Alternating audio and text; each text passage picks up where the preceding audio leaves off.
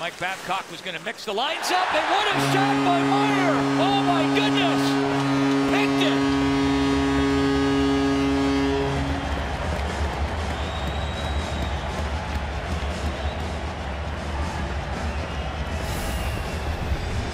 Well, the Maple Leafs, first of all, Bozak scrambles the draw and he gets help to get it back to the point. And here comes Marner. Little give and go, and he'll just walk right out top of the circle. And Van Runs a little bit interference so he doesn't touch anybody on the play, but enough just so he has a lane.